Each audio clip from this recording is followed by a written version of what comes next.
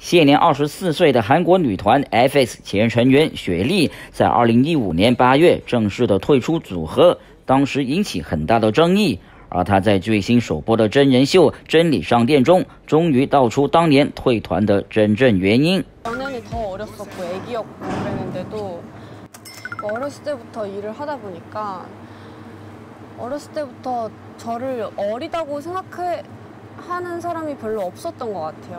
어깨에 막 짐이 너무 너무 많고 음, 되게 무서웠던 적이 많았었던 것 같아요. 무게감이 되게 네, 네. 부담으로 본의 아니게 그죠. 표출되는 경우가 그죠. 많았던. 네. 하라 그러면 하고 음. 이걸 왜 해야 되는지 이유도 모르고. 근데 어느 순간부터 이제 자각하기 시작한 거죠. 내 이거 왜 하고 있지? 왜 해야 되지? 저 저랑은 그 옷이 안 맞았던 것 같고. 음.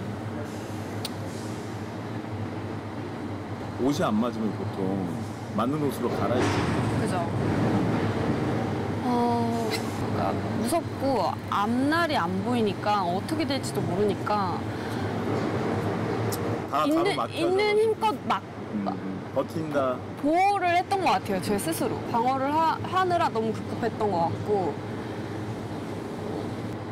진짜 힘들다고 얘기 얘기해도 들어주는 사람도 없었고.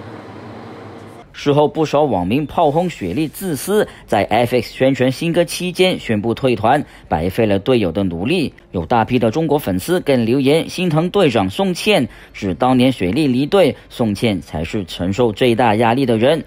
而宋茜几年前已经回到中国发展，队友 Crystal 则专注在韩国拍剧。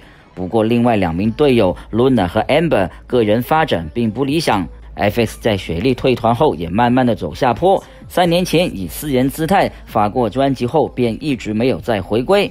粉丝的希望跟期盼也在漫长的等待中破灭。F.X 已经名存实亡。可能是见到太多的网民留言指责雪莉，宋茜在微博发文说：“每个人都有自己想要走的路和必须要走的路，不要停下脚步，走好无悔。I'm fine。”平心而论，宋茜回国当演员之后，发展的确是比在韩国的时候好多了。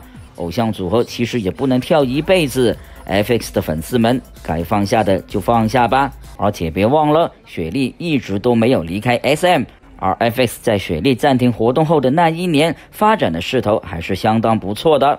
无以为继的原因，明显不在雪莉身上。